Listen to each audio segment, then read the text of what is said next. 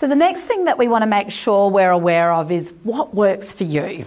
So, earlier I spoke about the importance of personalising the breathing, personalising the wellbeing tools. There's no point thinking, okay, well, yoga's great for my best friend. Why is it not working for me? Because maybe yoga's not for you. And so, let's have a little look. Some people, there are two ways that you can manage your wellbeing. You can be a segmenter or an integrator. So there are people who like to segment the different aspects of their life and that's how they manage their well-being. So what I mean by that is they do not bring any work through the door into their house. Or if they do, the only place that the work can exist is in the study. So it can't be on the dining table where other things go on because that's the business of the family or whatever it is. If it's you living alone, that's where you sit down and you enjoy your meals and you have some time to rest and recover. So working out whether or not you're that kind of person. I have other people with whom I work, teachers who just at the end of the day, the first thing they do before they rest or do anything is they take their work clothes off and put something else on. So I'm a bit of a segmenter like that. I get home and I pick the kids up from school. I come home if I'm not presenting that night uh, because it'd be wrong to turn up in pajamas. I get straight into my pajamas. So I might be like four o'clock at night. But that's how I segment my day. That's how I give myself that really obvious signal I'm leaving all of that hard work I've put in all day, but I am now leaving it behind. I am now in rest mode, and we know this from so much literature that really around four o'clock is when our brain is really wanting us to rest. So we all know we tend to work a fair bit past that four o'clock mark. But even giving yourself a signal, so let's just say you do need to do some more work, or say I'm writing, you're doing writing, email marking, whatever you're doing. Even just by putting the PJs on, or the trackies on, or just wearing home clothes, it's a signal. It's something that says to the brain, okay, we're transitioning, we're doing something to slow down. So, little ways that you can segment your life and go, well, this is work, or for me, you know, I am so, I love the opportunity to be able to access a whole bunch of things on my mobile phone, right? And I'm being honest about this because I don't think we talk enough about just how addictive our devices are. I mean, they're just like right from the sparkly cover that I've got. I like looking at it. It's easy to use. You press a swipe. We all know we've read that, heard about that research where you do a very similar move to you do at the, you know, in gambling. It's it's an addictive thing, right? And so for me, what I do, because I do not want to be in, on my phone around our children, I do not want to be on my phone at the kitchen table or at the dining table. I just really need to leave it behind because even if it starts with something really fun, like sending a text to a friend um, or, or checking the social media or reading a really interesting article, that's where it starts. It's not where it ends, is it, folks? So the reality is, is it then leads into a whole bunch of other things, and suddenly you've spent an hour on your phone. So the way I segment that, so for example, when I go to the gym in the morning, I take my phone with me. I then leave the phone in my car. right?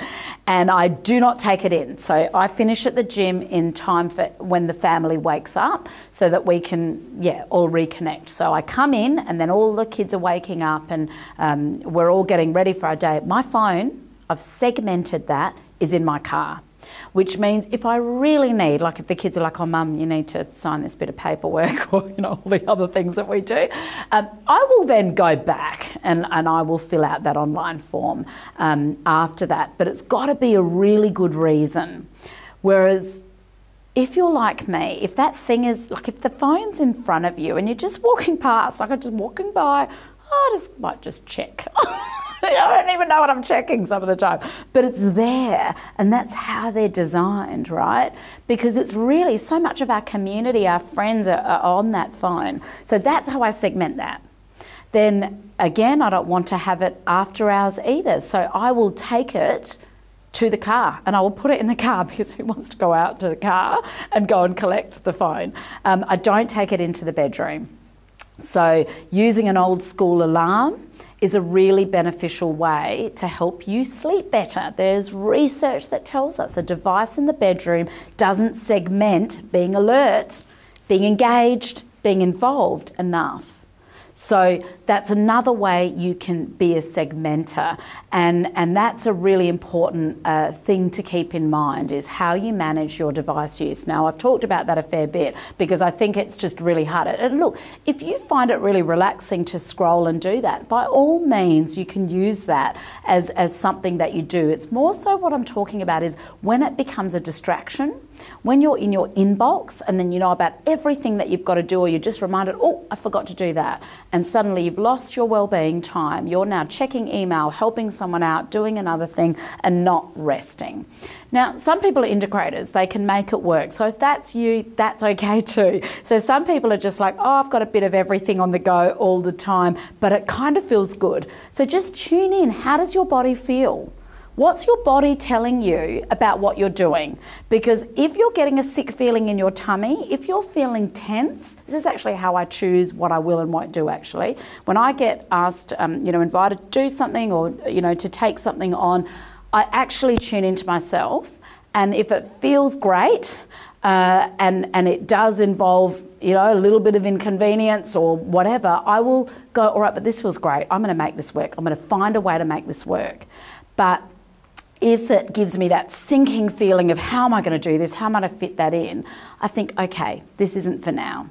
And that's how you do it, folks. That's how you look after your well-being. You make sure you're really, really aware and in tune with yourself. And so keep those things in mind. So let's keep on going.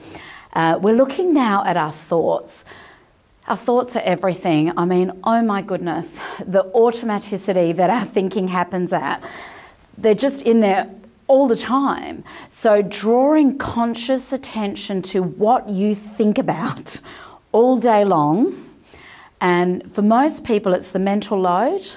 It's, you know, who am I picking up at what time? Where do I need to be? Oh my goodness, this student needs this, this family needs that, I need this.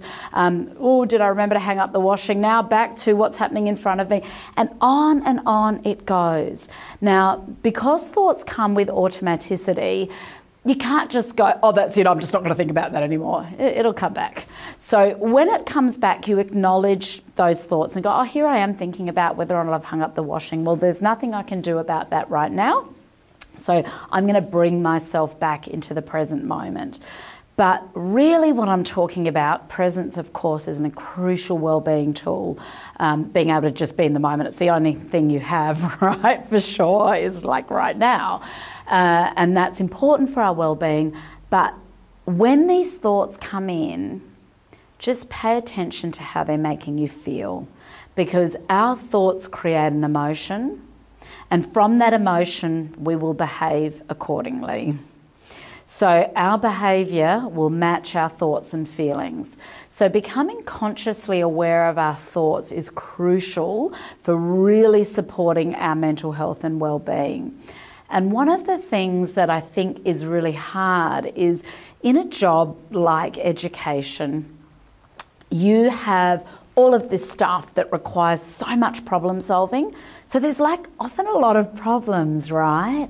And so, because our brains are designed to look out for problems, uh, you know, we all have a negative bias, whether we're the most optimistic person on earth or not, we're programmed to look out for problems. So, a little remnant of our cave times where, you know, there was saber toothed tigers walking around and clearly, like, we needed to be on the alert for danger.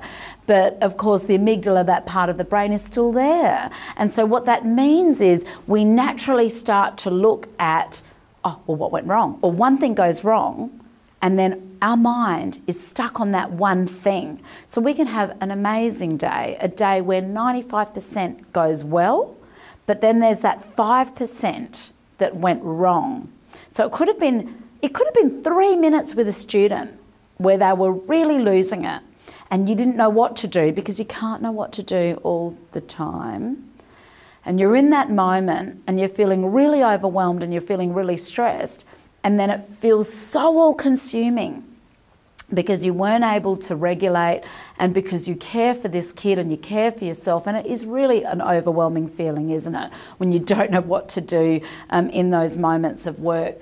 That can then feel like you had a really bad day, right? Or maybe your class was a bit, you know, off for, for 30 minutes, but then there might have been six hours that they were actually really engaged and lovely to teach. So, what we focus our mind on will create an emotion.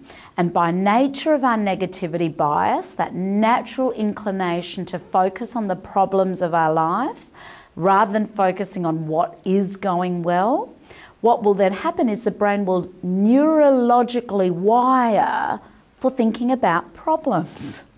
And so we know when we think about those beautiful 86 billion neurons, we don't want their dominant wiring to be around the stuff that's wrong in our lives. You know, I heard a great thing.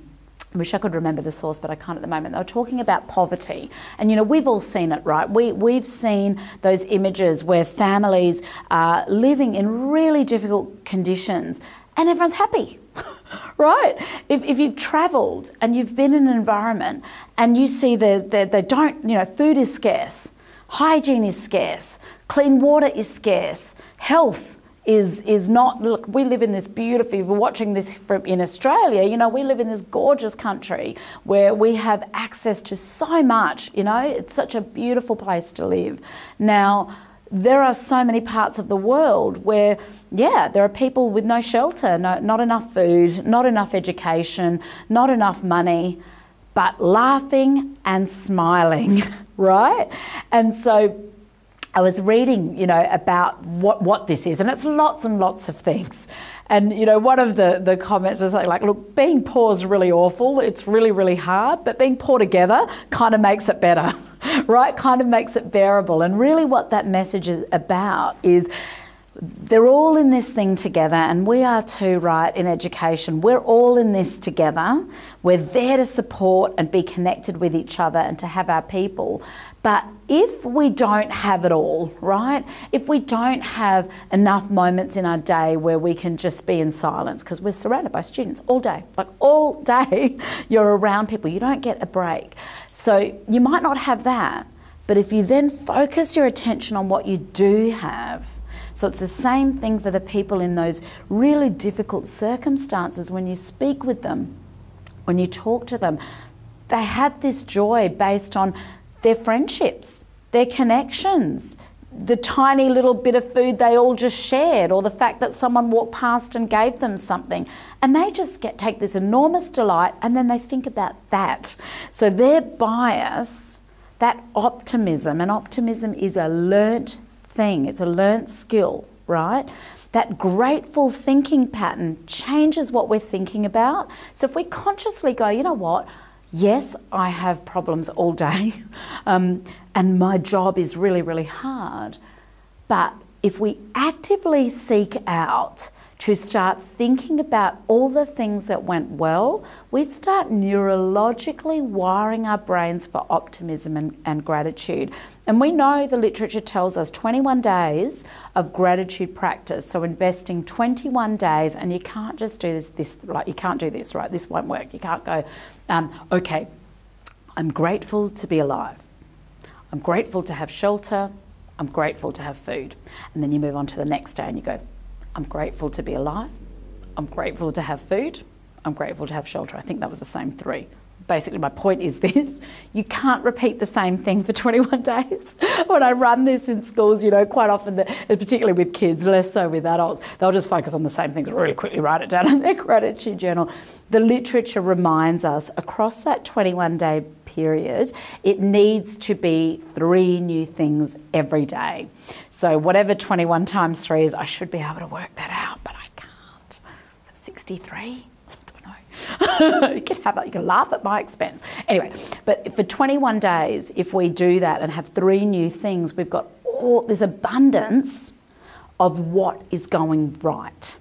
And with that abundance of what goes right, our brains start to go, actually, I've got a great life actually, my life is good. I, I, and then you start building this beautiful, abundant mindset instead of this deficit mindset. And a deficit mindset is going to make your well being feel like this. An abundant mindset's going to be like, my gosh, I feel well. I feel mentally clear. My state of mind's good. I've got stuff to look forward to. I've got stuff to reflect back on. Gee, I love my life. And that's a state of wellness when you are directly focusing. I think you know, in terms of problems, I think I think we've all got them, right? And you know, it's really nice when you're in a winning season, but life takes seasons of life, seasons, right? So there's times when everything's great. Um, it's, it's you know it's going nice and smooth. And then like eight seconds later something happens and it's really really hard. So i think we're all going through it at different stages of our life different uh, ages you know we'll we'll be juggling more or less. Uh, and so if we just go you know what? Either way every day i'm going to draw my thoughts. I'm going to bring in thoughts. I'm going to focus my thinking on what's working and what i'm glad i have rather than what i don't have have. And from that 21 day research, we know you can take a low level pessimist and turn them into a low level optimist. in that 21 day period by doing that. So we know the global literature is telling us let's just go back to the basics, folks. Let's breathe better. Let's focus on what we do have rather than we what we don't have and then some of the methods that we'll continue to focus on. So that's what I'd like to share with you about thinking. Look at the quality of your thoughts, keep the quality of them in the forefront of your mind, and keep bringing in what you can. When the negative one comes, don't be hard on yourself. Ha it happens to all of us. Just go, oh, I can feel that in my body. I'm thinking really negatively, I'm feeling really pessimistic. I am not going to put my attention on that. I'm going to focus it on something else.